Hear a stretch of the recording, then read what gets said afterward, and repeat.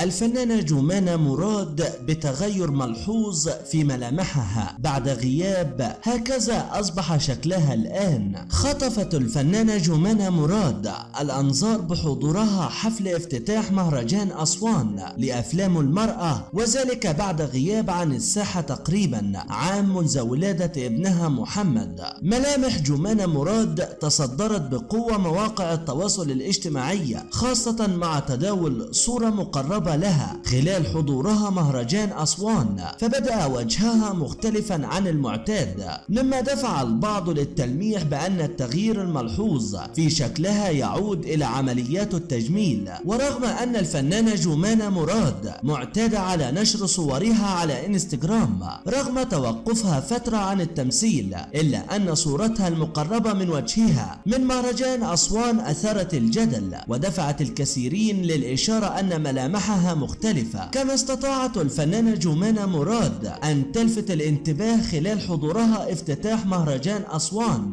من خلال إطلالتها الجريئة فأطلت بفستان أسود مزين بالشيفون من أعلى وبدأ مكشوفا بشكل لافت. دفع الانتقادات تنهال عليها من قبل رواد مواقع التواصل الاجتماعي. ومن جهة أخرى عادت جمانة مراد إلى استئناف نشاطها الفني بعد توقف سنوات. فمن المنتظر أن تشارك في بطولة مسلسل الفنانة يسرى الذي يحمل اسم دهب عيرة وسيعرض في رمضان 2020 كما أنهت الفنانة تصوير مشاهدها في فيلم يوم 13 الذي تشارك في بطولته مع الفنانة دينا الشربيني والفنان أحمد داوود وشريف منير ومجدي كامل. ويذكر أن آخر أعمال جمانة مراد كان مسلسل فرعون الذي عرض عام 2013 من بطولة النجم الراحل خالد صالح.